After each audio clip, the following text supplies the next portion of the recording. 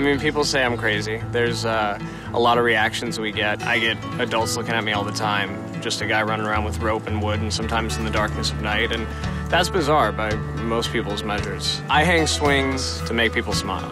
I mean, we forget to laugh as we grow. We forget that there's simple pleasures and there's joy to be had, and there's no shame in that joy. It's nice to remind somebody. I mean, that's why I found that swings are a really good vehicle for it, because, I mean, look at a kid. A little bit of wind in their hair, you know, the sun hits them, their hair gets pulled back from the breeze, and they sort of catch, you know, the slack and the chain goes tight, and they hit the bottom of that swing, and it's just instant smiles.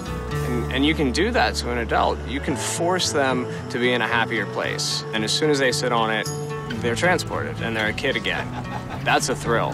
And watching that joy spread, it trickles down through people's days. And that's the part of this that I enjoy the most. I kind of like the rogue activity of running around. I like this idea of what I'm doing. I like tying knots. But I like putting somebody on a swing who looks at me like I'm a fool and watching their face instantly change and getting it.